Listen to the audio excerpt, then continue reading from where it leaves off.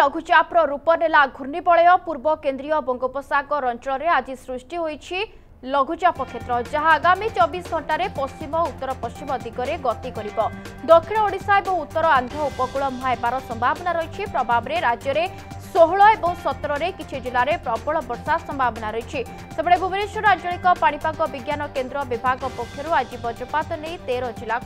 warning জারি করা সেইপরি পনেরো তারিখ পাই ষোহল জেলাক ওয়ার্নিং জারি করা সেপটে ওড়শার বাকি অঞ্চলর দক্ষিণ পশ্চিম মৌসুমী বায়ুর লেউটাণী জারি রয়েছে প্রদীপ্ত মহাপাত্র আমার রিপোর্ট ফোনলাইন যোগে যোড়াইছেন সম্পর্কিত অপডেট নবা প্রদীপ্ত কোণ সম্পর্কে অপডেট আসুচি কিনা লঘুচাপ যোগ পূর্ব কেন্দ্র বঙ্গোপসাগর অঞ্চলের বর্তমান সময় ঘূর্ণিবলয় সৃষ্টি হয়েছে কেউ কেউ জেলার বেশি বর্ষা হবার সম্ভাবনা রয়েছে কিনা সকাল যদি আপনার দেখবে বিশেষ করে ভুবনেশ্বরের পাগ কোহলা রয়েছে নিহতি ভাবে নিবেদিতা পঞ্চকতা কহিলেন পশ্চিম উত্তর ବଙ୍ଗୋପସାଗରରେ ଯାହା ଯୋଉ ଲଘୁଚାପ ସୃଷ୍ଟି ହେଇଛି ତାହା ବର୍ତ୍ତମାନ ଦକ୍ଷିଣ ଓଡ଼ିଶା ଦେଇକି ଉତ୍ତର ଆନ୍ଧ୍ର ଉପକୂଳ ଦେଇ ଯିବାର ସମ୍ଭାବନା ରହିଛି ଏବଂ ଏହାର ପ୍ରଭାବରେ ଆସନ୍ତାକାଲି ଏବଂ ତା ପରଦିନ ଅର୍ଥାତ୍ ଷୋହଳ ଏବଂ ସତର ତାରିଖରେ ପ୍ରବଳ କ୍ଷମା କରିବେ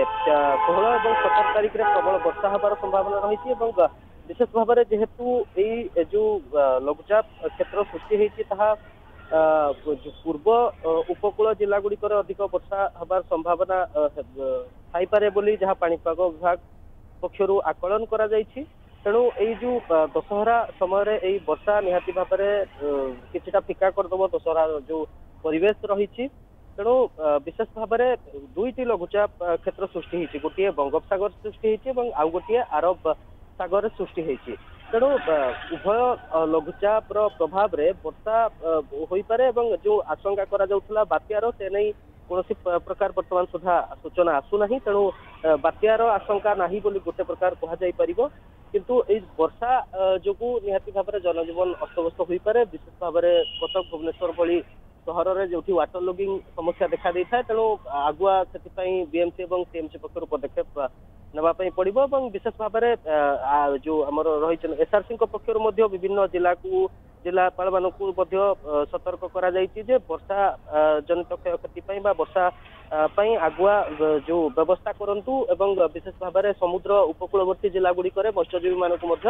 ସମୁଦ୍ର ଭିତରକୁ ଏଇ ଦୁଇ ଦିନ ଷୋହଳ ଏବଂ ସତର ତା ସହିତ ଆସନ୍ତାକାଲି ମଧ୍ୟ ଯିବା ପାଇଁ ଗୋଟେ ପ୍ରକାର ବାରଣ କରାଯାଇଛି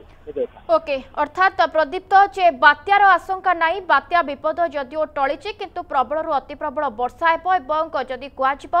ତେବେ ପୂଜା କୋଉଠି ନା କୋଉଠି ଫିକା ପଡ଼ିବ ଯେହେତୁ ଦଶହରା ସମୟ ପାର୍ବଣର ସମୟ ତେଣୁ ଏହା ପୂର୍ବରୁ ଆକଳନ ମଧ୍ୟ ଥିଲା তেণু বর্ষা অধিক পরিমাণের হব বিশেষ করে পনেরো তারিখ ষোহল জেলাকে ওয়ার্নিং জারি করা এবং বিশেষ করে ষোহল এবং সতেরের কিছু জেলার প্রবল বর্ষার সম্ভাবনা রয়েছে বহু ধন্যবাদ প্রদীপ্ত মহাপাত্র আমার রিপোর্ট এ বাবদে আলোচনা করতে